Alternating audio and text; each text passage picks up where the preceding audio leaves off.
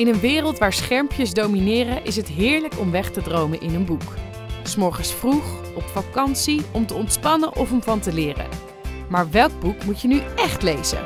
Ik ga voor jou op zoek naar het beste boek. Vandaag ben ik in Kampen. Hi. Hi. Zeg, ik ben eh, eigenlijk op zoek naar een boek eh, voor Wilma. Zij, haar man is binnenkort jarig en die was graag een boek cadeau doen. Eh, en hij houdt van historische romans. Heb je wat goede suggesties? Ja, ik wil dan beginnen met eh, het boek Theophilus Oké. van Randy Singer. Goed dik boek in ieder geval. Ja. Ben je wel een paar uur mee zoet? Ja, ben je zeker een paar uur mee zoet. Ja, hij heeft zelf, Randy Singer, zoiets van dit is eigenlijk het boek waarvoor ik geboren ben, zeg maar. Dit boek had ik moeten schrijven, de rest wat er ervoor was alleen maar voorbereiding. Dus dit is gewoon een heel belangrijk boek. Levenswerk. En levenswerk. Ja. Ehm, hij is gefascineerd door de twee processen. Eh, de- het proces van Jezus en Pilatus en het proces van Paulus en Nero. Daar draait het boek een beetje om. Goeie optie. Wat heb je nog meer eh, in de aanbieding? Dit is ook wel een heel erg bijzonder boek. Dit gaat over Edith Eva Eger. Zij is Joods, zij komt in de 16e in Auschwitz terecht.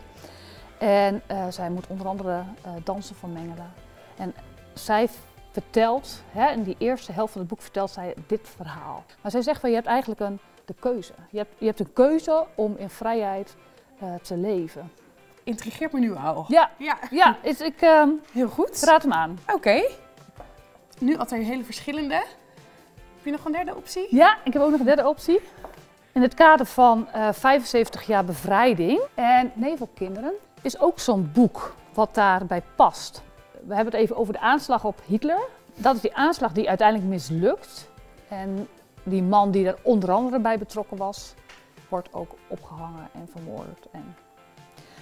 Maar met die kinderen, wat ze met die kinderen gaan doen, dat is ook een soort wraakprogramma. Ehm, die kinderen worden overal, uit eenzelfde gezin, overal in het land eh, geplaatst.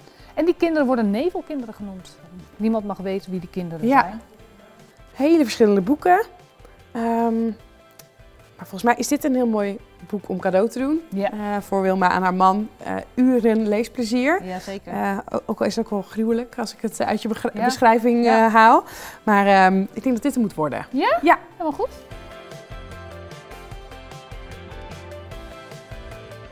Kijk eens, Dankjewel. alsjeblieft. Nou Wilma, volgens mij kan je je man heel erg blij maken met dit boek voor zijn verjaardag. Ben jij nou ook op zoek naar een boek? Kom je er niet uit? Ga dan bijvoorbeeld in de Christelijke Boekenweek eens op zoek naar een christelijke boekhandel. Of stuur mij een berichtje en misschien ga ik de volgende keer dan wel voor jou op zoek naar een boek.